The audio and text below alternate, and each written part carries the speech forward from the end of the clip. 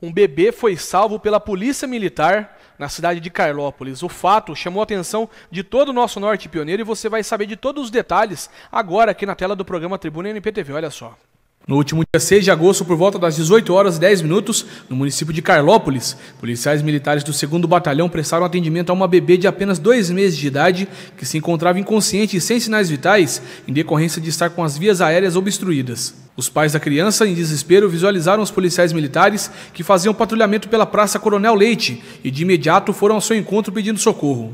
Os soldados Nascimento e Ismael, ao verificar a gravidade da situação, utilizaram técnicas de socorro adequada e conseguiram fazer com que a pequena bebezinha recobrasse os sinais vitais, encaminhando-a na sequência até o pronto-socorro daquele município para atendimento médico. Segundo os profissionais de saúde do Pronto Socorro Municipal, graças ao rápido atendimento prestado pela Polícia Militar, a pequena bebezinha não mais corria perigo de vida.